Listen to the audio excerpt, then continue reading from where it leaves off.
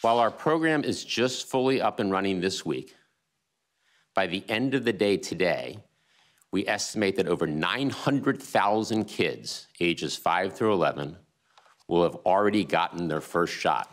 So uh, I think it's we are set up to vac- continue to vaccinate more and more kids ages 5 to 11. We're off to a very strong start with 900,000 kids already having received their first shot, 700,000 appointments already scheduled at local pharmacies alone. Uh, we just want to make sure that we answer any questions, continue to answer questions that parents or kids might have about the vaccines and get as many kids vaccinated as soon as, as possible.